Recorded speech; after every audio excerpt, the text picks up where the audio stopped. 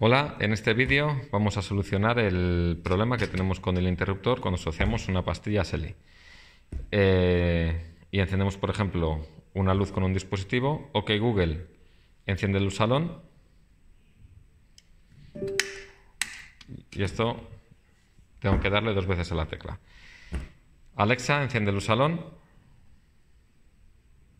Alexa, enciende luz salón. Vale. ¿Veis? Le tengo que dar dos veces a la tecla. Incluso desde aquí le tengo que dar dos veces a la tecla. Esta configuración se hace, me voy a salón y tengo que ir a configuración. Entonces, en Power On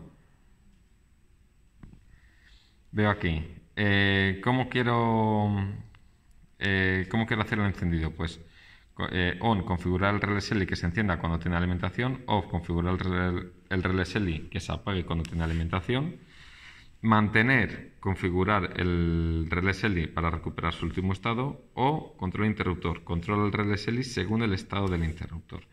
Entonces ahora mismo está en función del estado del interruptor. Y si me voy a tipo de botón, veo que el conmutador de flanco está desactivado porque esto es incompatible.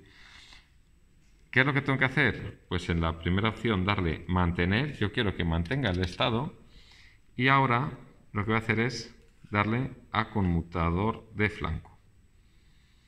Entonces, solo con hacer esto vamos a ver la diferencia. Alexa, enciende luz salón. Vale. A ver. Y se apaga. Ok, Google, enciende luz salón. Y se apaga. Le doy ahí. Y se apaga. Y ahora si me voy a eso es otro capítulo. Si me voy a Amazon Alexa,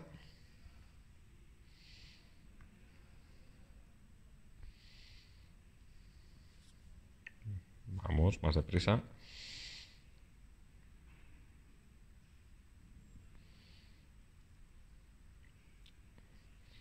Luces.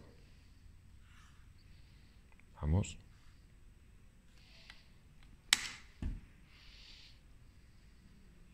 Yo le doy. Todo. Esta es la velocidad del móvil. Veis que está encendido y yo ahora lo podría apagar desde aquí. Y si yo lo enciendo desde aquí, lo apago y esto desde Google Home. Haría lo mismo vamos a ver. Voy a cambiar de cuenta.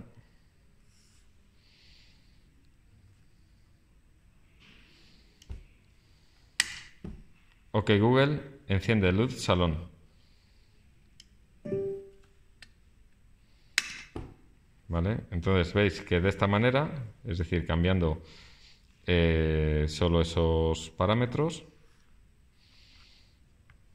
Configuración, power on y tipo de botón, ya tendría el SELI correctamente eh, funcionando, instalado, pudiendo encender eh, la bombilla desde cualquier dispositivo con un solo toque.